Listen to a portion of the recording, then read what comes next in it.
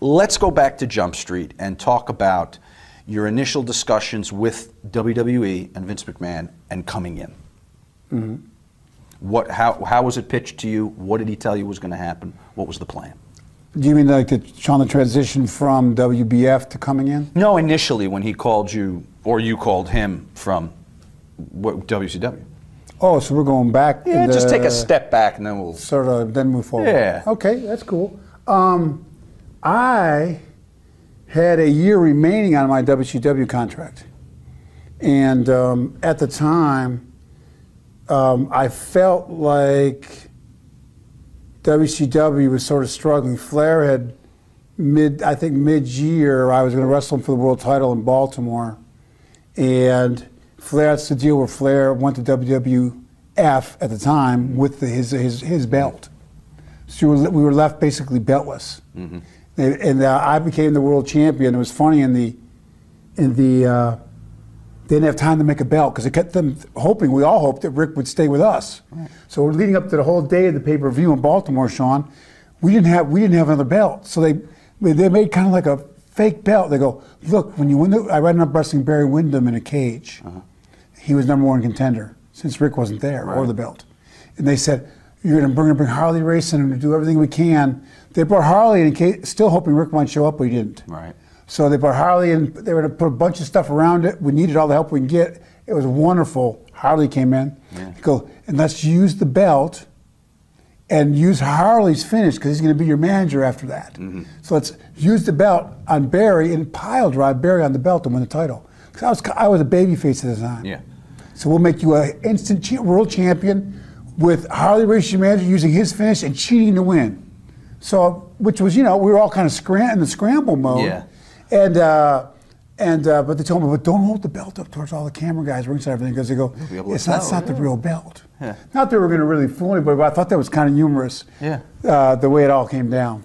So, uh, at what point do you make contact with Vince McMahon to be to be brought in? Now, you've got a year left on your WCW contract. This is the reason you had to be put into WB, WBF because you couldn't be shown on WWF TV because it was a direct Right. competitor of WCW. So to move forward, the remainder of the year, the company was in so much turmoil that they were really they didn't know really. I felt like they weren't sure which direction they wanted to go. They were making cutbacks. They even talked about letting Harley go at the time, and I was like, man, this isn't good. Not a good sign. yeah. Uh, Ted Turner always taught us we'd always have wrestling, but Vince McMahon had always been the clear number one at that point, obviously. Mm-hmm. So and I, I always had aspirations of if the opportunity came to come there. So I actually called Vince on the phone and said, if I have a year left of my contract, if I became available for the bodybuilding, if I took a year off and really trained and got in the best shape of life, I always wanted to see what it'd be like to not be traveling on the road and eating in airports. The airport food was awful back then, if you want to date back to 92, 93. I believe it. And it's a lot better now.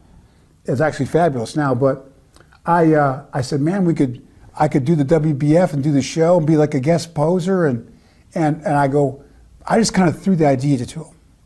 And he said, you know, let, let me think about that. And he called me back. Man, it must have been a couple weeks later, and said, I, I, I think, I think uh, it's just very interesting. I think I'd like to maybe pursue this.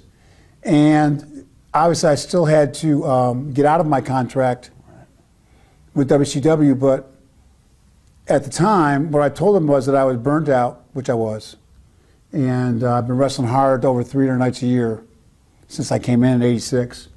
I told him I need some time off. I wasn't sure what I was going to do, which was a lie at the time, because I'd already pretty much had my sights set, and Vince pretty much agreed that I could come in under a WBF contract. With the hopes of then, or well, with the understanding that later. When I was going to sign a one-year WBF contract, instead of so instead of finishing my last year with WCW, I would I would sign an agreement, and since I thought they were in the cost-cutting mode, I was one of their biggest contracts. I said, "I'll give you that one-year contract. Mm. Just let me do things outside of wrestling. I won't wrestle."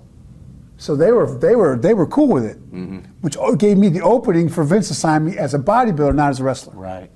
So it was Now- kind of a win-win at the time. I could stay home and train. He's a, he was going to take care of me financially, not like a big contract, but paid me to stay home and train. Yeah.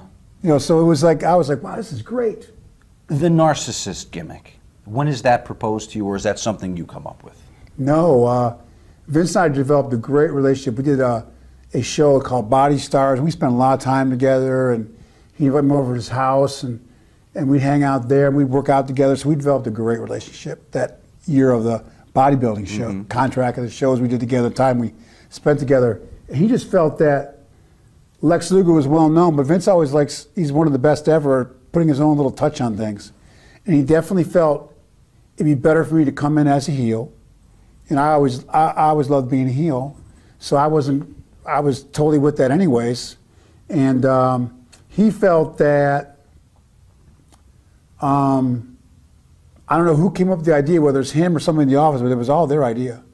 To come in as a narcissist. He said, with your body, and we'll, we'll really dramatize your arrogance on camera. And he goes, we'll, we'll call you a narcissist, and you'll just, he goes, we'll have a lot of fun with that. Um, were you excited to be paired with Bobby? Oh, that was a, that was a surprise when I got to that. It was in, I believe, Sacramento. They said, we're going to put you with Bobby the Brain Heenan, who's a, obviously a legendary guy. They told me that the day, of the, the day of the show when they introed me. Oh, wow. I didn't know that was part of the plan. Yeah. But obviously, I was all, all up with that, Sean. Yeah. Well. Bobby's one of the greatest manders ever in pro wrestling. So for his stamp of approval, it was funny in the back because Bobby was like, "Well, what do you, you want me to go out there with him? He's, what does he need to be doing?" I goes, "He's not wrestling. He's just going to be posing." And he goes, "You're going to like take his cape off. You're going to point all his." All his, all his great body parts and everything. Bobby was kind of weird about.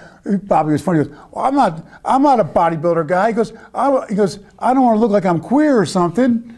Out there, it was. It was funny. Bobby's reaction in the back because he was kind of uncomfortable with telling everybody how magnificent my, my, my legs and quadriceps. They're giving these like bodybuilding words to use, and Bobby was kind of uncomfortable with it. It was funny. He thought it was, it, it was, it was humorous before we went out there. But of course, Bobby went out there and knocked it out of the ballpark. While you're still in WBF now in January, you uh, actually when do you sustain the injury where you needed the titanium plate? Uh, you I was just talking about the ride over. I was uh, almost either two weeks out or one week out before the WBF show. I was going to be the guest poser. right. I was in the best shape of my life, man. I was so bummed, but it was a near fatal wreck. I mean, I had Motorcycle? bones hanging out. Yeah, I head on with a car. It was unbelievable that I survived that. It's a miracle of God, Sean. I mean, we were both going 45 mile an hour on like a one and a half lane road, country road, at dusk, and we didn't, we never saw each other coming. Right. I avoided the car. I, I tried to go off the road to avoid the car, and actually it was going to hit me on the right side. I was going to I didn't know if I hit it hand, that was going to be really bad. I picked my right leg up and, and just, uh, it would have crushed my right leg, but threw me 150 feet into the woods, missed every tree. Wow. It was amazing. I lost a lot of blood, bones sticking out, and my arm was, didn't even look like an arm anymore. But that did keep you from posing, obviously, in, in the big pay per view that, that they did, right? Uh, It was, it was an unbelievable recovery because I I think it was maybe seven or eight months later, I'd let the bone heal for four or five months before I could even lift weights again. So I, I had to sort of scramble to get ready for that display of the, the narcissist. I had about two and a half months to train after not being able to work out at all for four and a half months. What the hell was ICOPRO? That was their big product. Remember that ICOPRO was a was it a powder? It was a supplement. Sports supplement line. It was a. It was really when you think about it, when you look at all the companies out there now in sports nutrition. I mean, it was a it was a brilliant idea. I don't know what happened with it as far as the marketing and the product, but really it was. And with the cr- young young guys, what you know now the crowd's energy drinks. They're always looking mm-hmm. for stuff to work out and get the six pack. So really, it, I thought it was a great idea.